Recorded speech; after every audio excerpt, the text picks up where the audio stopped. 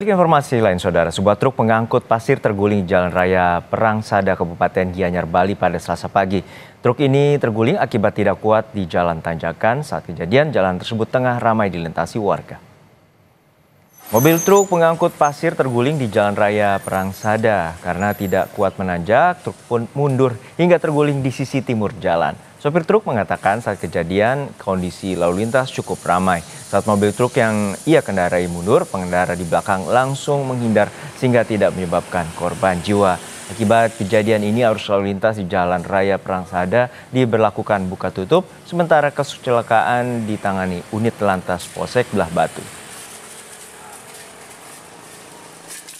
Tidak kuat nanjak. Tidak kuat nanjak ya? Iya. Awalnya mau dari arah mana, mau ke mana? Mau ke Bedulu.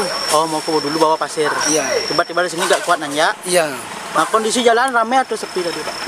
Kayak ada rame lah sedikit. Tidak rame ya. terlalu rame soalnya pagi kan. Gini ya, di derek dulu ya. Iya. Ketika nggak ada luka, Pak ya? Tidak ada. Ya. Cuma sedikit aja di Sedikit. kaki.